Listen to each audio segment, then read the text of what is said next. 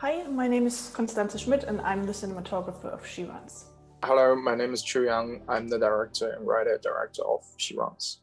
I always want to start my films with head credits. Um, sometimes I choose to have the diegetic sound from the first scene seeping into the credits just to create a more natural transition into the story world to better prepare the audiences.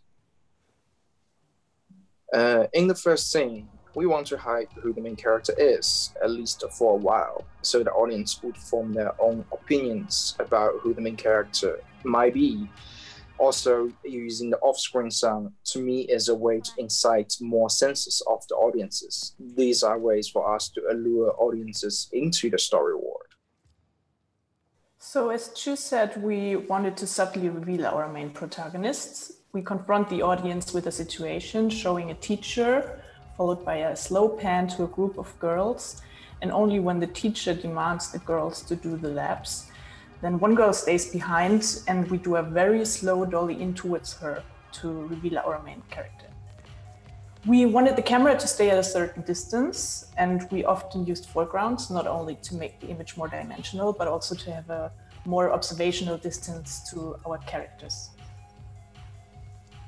Um, when we create the film, we don't want to be boxed in by the screen, so we want we tend to build everything outside of the frame as well. Uh, when we're doing location scouting, the depths and complexity of the space are essential elements that applies to to the sounds and hence the often used off-screen sound, letting characters and elements of the scene freely go in and out of the frame to create a feeling that they are real people living in a real and larger world. We are only just peeping through the lens into their lives.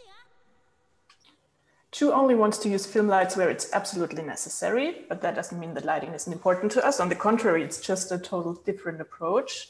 So um, we mainly focus on location scouting to find the right places where the lighting is more or less good for us. And then we spend a lot of time on the location, studying the light and figuring out where to take away, or more importantly, where to add lights. So sometimes we put reflections in the foreground or lights in the background, such as car lights or blinking lights, just to give the audience subtly space to think what is happening outside the frame or the image we present to them now it's it's it's it begins the film with the title uh, she runs actually the Chinese, Chinese title means the girl from the south which uh, is uh, where the girl's from